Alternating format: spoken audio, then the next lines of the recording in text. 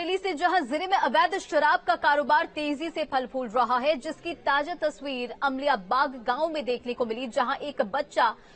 छोटी अवैध तरीके से कच्ची शराब तैयार कर रहा है। देखिए, तस्वीर सामने आई है। साल की शुरुआत में अवैध तरीके से बनाई गई देसी शराब के चलते एक दर्जन लोगों की मौत की खबर आई थी। बावजूद इसके, आज भी ज़िले के कई इलाकों में अवैध शराब बनाने का गोरख धंधा फल फूल रहा है और एक छोटा बच्चा शराब की भट्टियों को